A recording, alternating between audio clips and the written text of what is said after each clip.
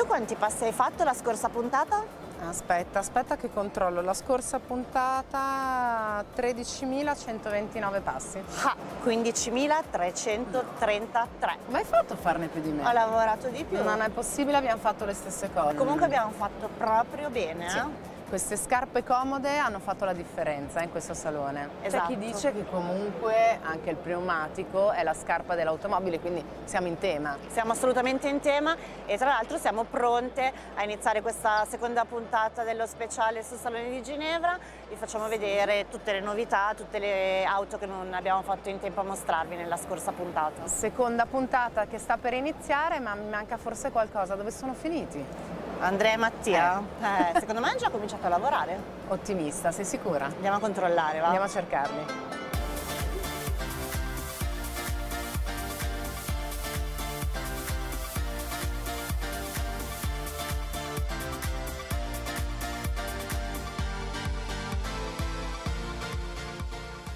Va bene, abbiamo capito, forse è meglio se iniziamo noi e partiamo da tre concept che stanno attirando l'attenzione di tutti qui a Ginevra, tre idee per la mobilità urbana del futuro.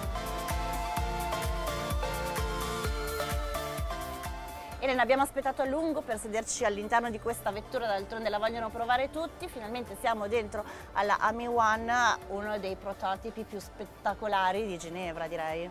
Ma sì, qui al Salone di Ginevra si trova in presenza Ami One Concept che è la sua visione del futuro. Rappresenta la risposta alle nuove esigenze di mobilità in città.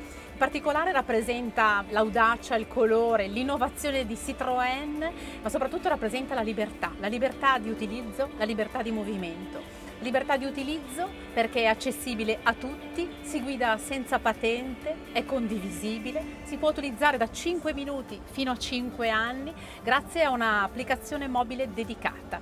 Libertà di mm, movimento perché è un oggetto 100% elettrico per due persone, ultra compatta e agile eh, per viaggiare con stile in città in un mezzo intuitivo e connesso. Poi tra l'altro dimensioni particolarissime, due metri e mezzo di lunghezza, un metro e mezzo di larghezza e un metro e mezzo sempre di altezza, spazio sfruttato davvero molto bene. È proprio così, è ultra compatta per un utilizzo facile, accessibile a tutti in città, una unità di guida estremamente semplice e razionale, col volante con due pulsanti e poi un monitor a 5 eh, pollici che proietta le indicazioni principali e soprattutto un alloggiamento specifico per lo smartphone che diventa il cuore dell'interfaccia di gestione con la vettura, con il conducente che proietta su questa lama in vetro le principali informazioni come sulle DAP display. Sempre lo smartphone è utilizzato per aprire e chiudere la vettura avvicinandolo al QR code che si trova sulle maniglie esterne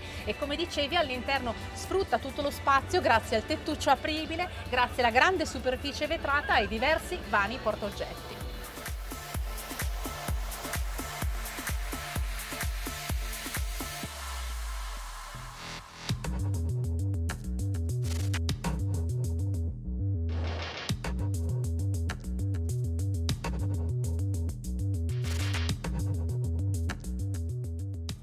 Volkswagen gioca con l'elettrico, gioca si fa per dire e propone questo concept e rilancia dire, un mito, quello del maggiolino. Questo è il Buggy ID, cioè il marchio per le macchine a zero emissioni. Il modello che misura poco meno di 4 metri e 10 centimetri, 4,07 praticamente, è costruito su una delle declinazioni della piattaforma eh, modulare elettrica, la MEB. Ha un motore da eh, 204 cavalli ed un'autonomia dichiarata di 250 km. Ha una batteria per la verità anche abbastanza importante perché da 62 kWh. La coppia è di 310 Nm. Questa macchina per il momento è un sogno, è una due posti ma Volkswagen se la immagina anche in versione 2 più 2. Se verrà prodotta, eventualmente verrà prodotta in serie molto limitata. Sicuramente è una delle attrazioni dello stand di Volkswagen. È un bel giocattolo, tra virgolette.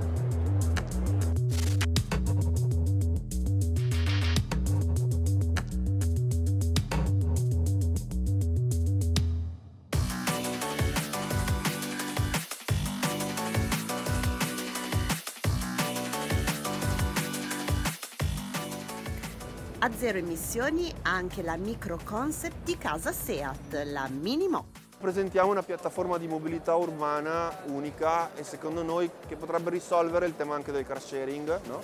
In questo momento presenta dei problemi di economicità anche e di occupazione del suolo notevoli e con Minimo non lo faremo in quanto avremo un'automobile che garantisce la mobilità su un range che in città sappiamo no, è inferiore ai 10 km, con un'automobile completamente connessa, un'automobile con guida autonoma 4, per cui il cliente con ad esempio l'applicazione potrà chiamarla e l'automobile da sola andrà a cogliere il cliente e abbiamo smarcato il tema della ricarica perché eh, questo mezzo sarà dotato di quattro batterie molto leggere che potranno essere intercambiate in 4 minuti.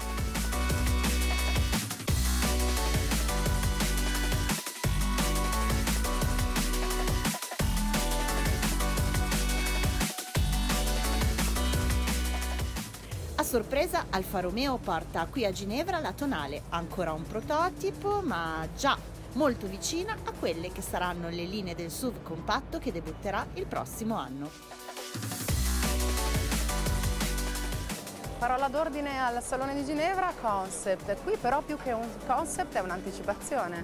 Ma è un'anticipazione senz'altro perché Tonale rappresenta per noi un passo importantissimo nella storia del, di Alfa. Dopo Stelvio tonale è la nostra interpretazione di un uh, utility vehicle compatto, filante, uh, una vettura molto bella con dei rimandi al passato, per esempio la, la linea di cintura laterale riprende la GT Junior, così come anche i, il, i gruppi ottici frontali invece uh, a tre fari riprendono vetture quale la Brera oppure uh, anche la 75 TZ, un'altra grandissima uh, vettura, un classico per casa Alfa Romeo.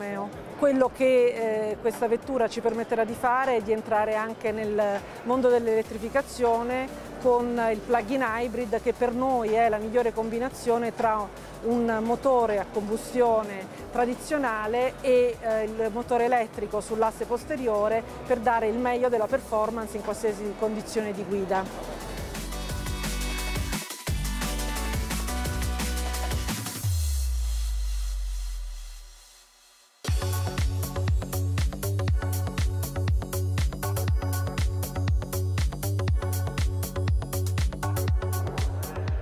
Skoda Kamiq, alla Casa della Repubblica Ceca del gruppo Volkswagen i SUV piacciono così, con la K davanti e con la Q dietro. Il nome deriva tra l'altro dalla lingua Inuit del circolo polare artico.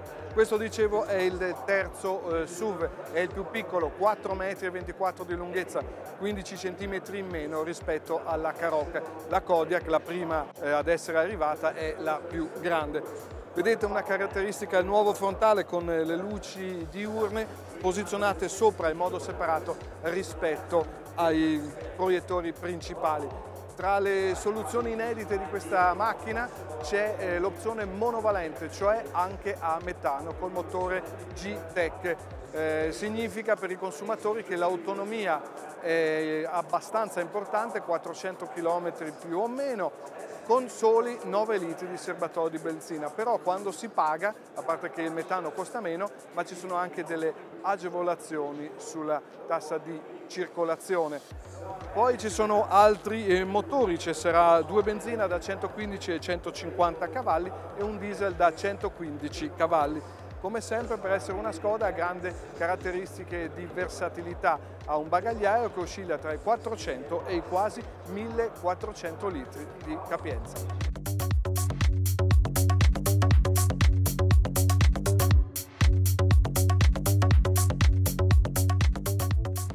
Anche Mercedes resta in tema di SUV con la nuova GLC. Fa qui il suo debutto, il, il facelift, quindi la nuova generazione della GLC, eh, novità dal punto di vista del look, quindi con dei dettagli che cambiano ma che rendono la macchina, rendono più aggiornato il look della, della, GLC, ma soprattutto sotto pelle una rivoluzione dal punto di vista di tutti i nuovi motori, sia diesel che benzina, il suo debutto arriverà anche un, una motorizzazione plug-in, quindi con un motore elettrico con autonomia di tra 50 e 100 km e soprattutto l'MBUX, quindi lei Mercedes che ha fatto il suo debutto sulla classe A arriverà anche sulla GLC.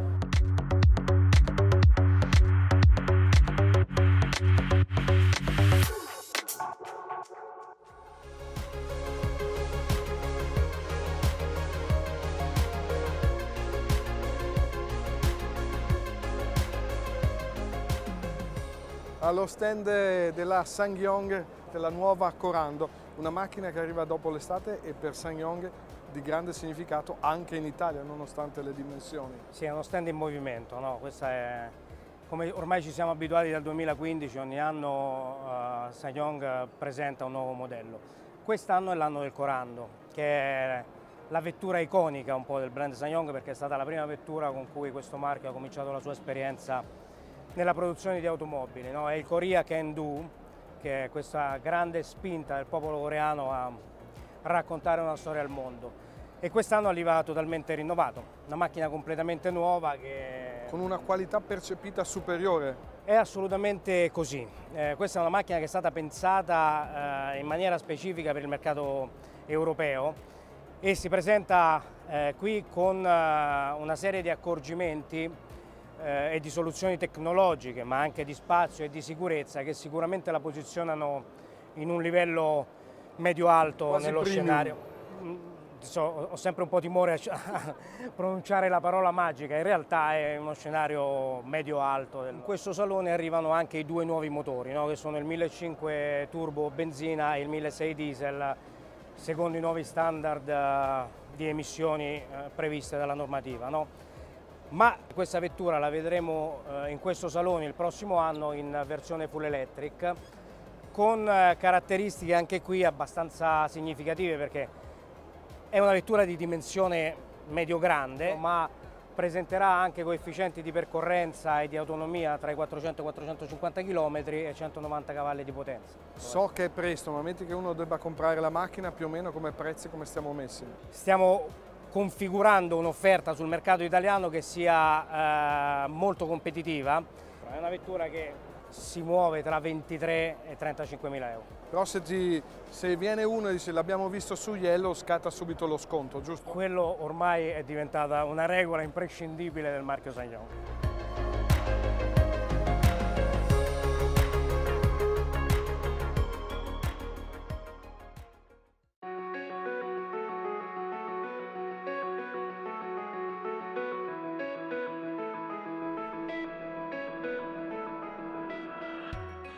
Grande festa per Bentley al Salone di Ginevra, sono i cent'anni che festeggia, li festeggia in questo modo, presentando la Continental GT nella sua nona versione. Sono 100 esemplari, tutti realizzati a mano e unici.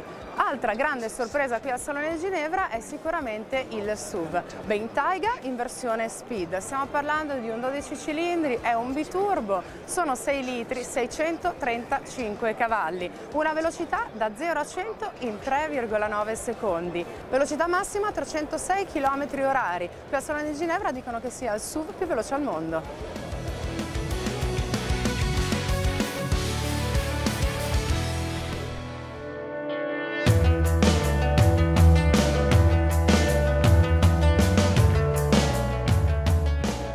Proprio durante lo scorso Salone di Ginevra veniva lanciato il marchio Cupra, divisione high performance di casa Seat.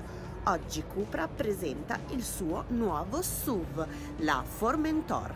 Dopo un anno di successi perché in Europa le vendite sono volate, Cupra grazie alla gamma precedente ma grazie al lancio anche di Cuprateca, adesso affrontiamo eh, questo nuovo marchio con un prodotto straordinario e tanto poi nel nome echeggia proprio lo spirito selvaggio ed esclusivo e magico no? di, di, Cap Formentor e, e, lo ritroviamo su queste linee tese, sportive, parliamo di, una, di un ibrido ad alte prestazioni, quindi un'auto che eh, avrà dei valori di emissione sotto i 50 grammi per chilometro, ma eh, che non trascurerà invece la parte emozionante, quindi parliamo di 245 cavalli, da 0 a 100 in poco più di 7 secondi, e poi le doti telaistiche che sono molto apprezzate nei modelli Cupra, impianto frenante Brembo, sospensioni adattive e un cambio settato per le massime performance.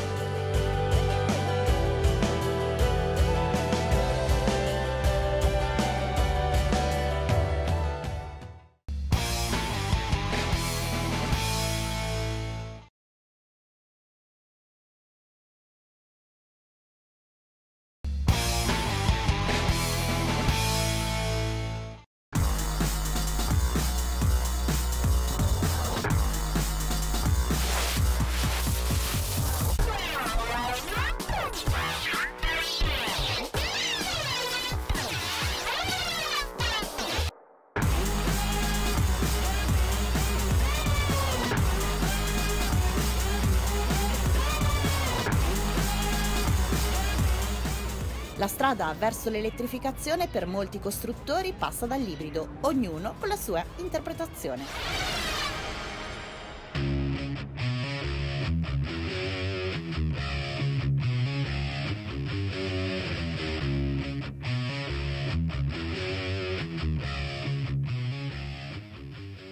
Marco, una delle novità più significative qui sullo stand Jeep è sicuramente l'introduzione delle motorizzazioni ibride e plug-in su Renegade e Compass. Esatto.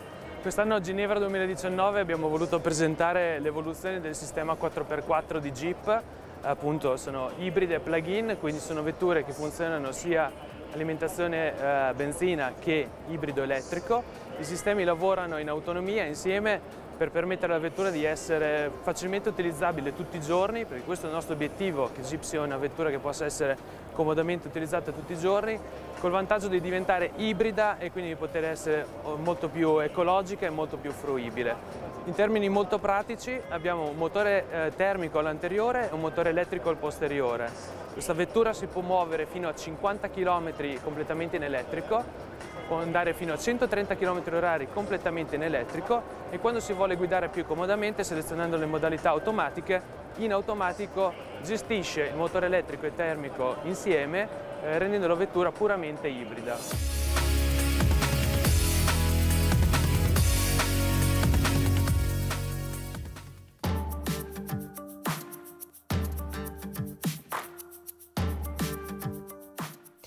Subaru scommette sull'ibrido presentando le XV e Forester a doppia alimentazione benzina elettrica. Si tratta delle prime ibride del marchio giapponese ad arrivare in Europa. Come funzionano? Il sistema di propulsione abbina un'unità elettrica con i due punti fermi di casa Subaru. Il motore boxer, un 2 litri benzina con 4 cilindri contrapposti da 150 cavalli e il sistema di trazione integrale Symmetrical All Wheel Drive.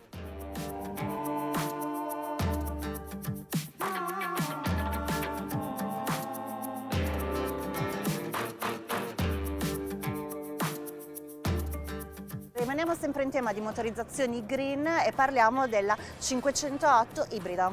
Sì, l'ibrido, il plug-in hybrid è l'evoluzione di quello che è il concetto del full hybrid. Il full hybrid è una tecnologia che è già esistente da diverso tempo, non è più lo stato dell'arte della tecnologia, lo è il plug-in hybrid perché permette di coniugare al meglio quello che è la qualità e soprattutto l'efficienza della mobilità 100% elettrica con quello che è il vantaggio dell'ibrido. Viene declinato nella gamma di 3008 in versione 4x4 con 300 cavalli, un motore a benzina, due motori elettrici e nel caso di 508 e 508 Station Wagon trazione anteriore 225 cavalli e soprattutto 40 o 50 km in modalità 100% elettrica. Davvero un ottimo connubio per affrontare quello che è il concetto di transizione energetica al meglio.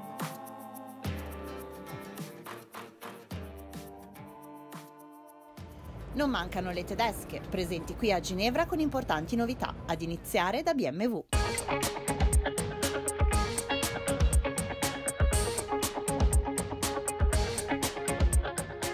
Qui allo stand BMW la reginetta senza ombra di dubbio è lei, la nuova Serie 7.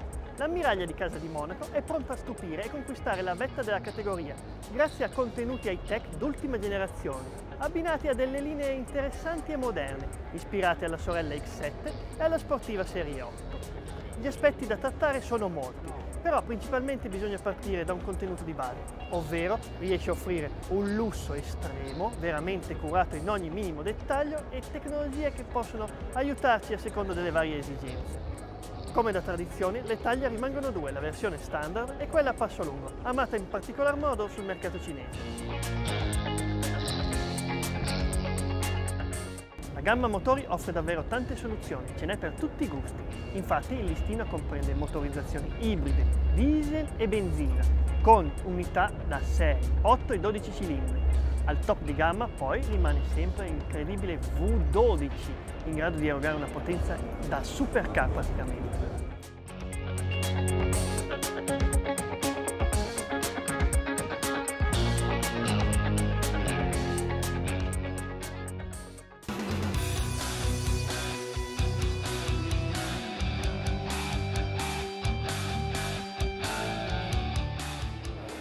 La Porsche 911 si è appena rinnovata, ma già amplia la famiglia con l'arrivo della versione Cabriolet, che mantiene intatte le caratteristiche tipiche del modello.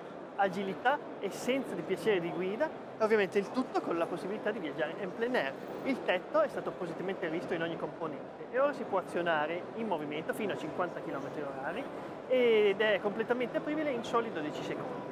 Al momento del lancio, come la sorella Coupé sarà disponibile con una sola motorizzazione, un 3000 biturbo, 6 cilindri boxer, in grado di erogare 450 cavalli.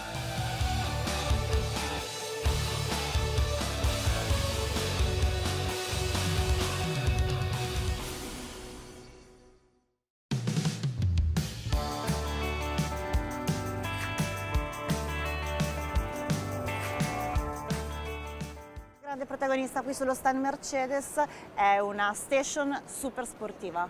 Sì, perché la CLA, la berlina coupé a quattro porte, eh, fa il suo debutto anche nella versione station wagon che noi chiamiamo shooting brake. Questa macchina cresce nelle dimensioni, oggi diventa 4,80 metri, è una macchina strasportiva ed è interessante come questi body type stanno con questa mutazione sportiva diventando interessanti anche per un pubblico molto più giovane, molto più incline alla sportività e alla guida su strada, con un prezzo che è stato dichiarato da ieri per la versione della berlina eh, CLA di circa 33.000 euro per, per l'attacco, quindi è una macchina disponibile per una fetta molto più ampia di clienti.